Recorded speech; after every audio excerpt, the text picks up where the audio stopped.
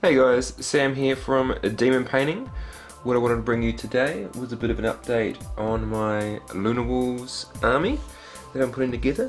What we have here is a whole set of Tartaros Terminators, I think they're called.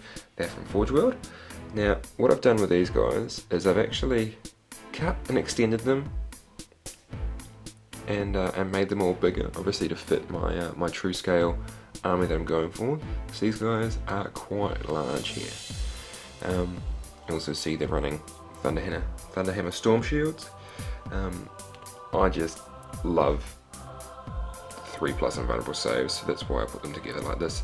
Um, probably not fitting into the latest release from Forge World, um, Horus Heresy book.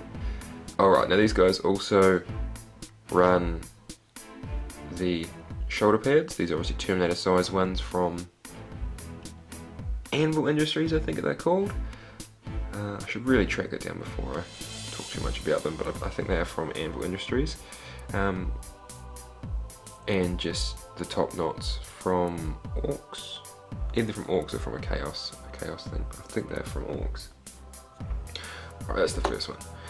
Um, next one here, these ones have also been shaved, you see all the iconography of the chest has been taken off, um, as well as running actual power fists beneath their storm shields.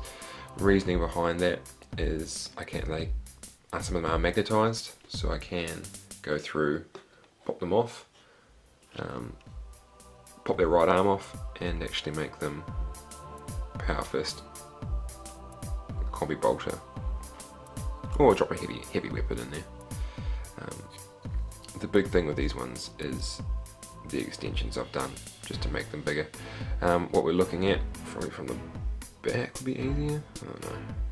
Uh, obviously you see the legs have been uh, extended with plastic card, same with the waist and side um, has been lifted.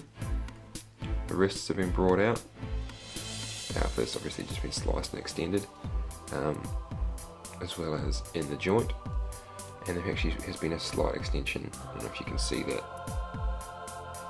in the actual shoulder area. That's just to bulk them out and make them that little bit beefier. Now these are obviously been have been green stuffed, these shields and everything. Um, they're still in a basic stage. They have been quick molded, I think they're called. I believe they are from, why is it not focusing? Uh, Khal Drago's shield and just you know a standard Thunderhammer. This guy's whole arm has actually been um, green stuffed up because they only come with four power fists and I wanted to run five. The other one here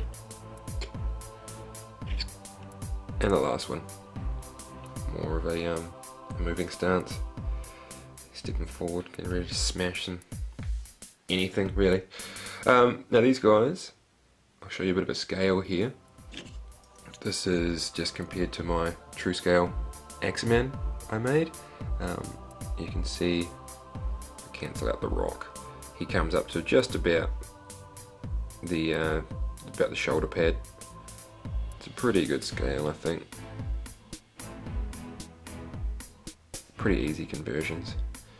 Um, I'll show you one more. What else have we got? We've got Dark Eldar. This is a good little example. You can see uh, how much bigger they are. That'll be a fun fight.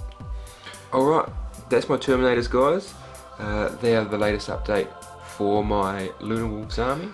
Alright, thanks very much for watching guys. Don't forget to rate, comment and subscribe and I'll see you in the next video.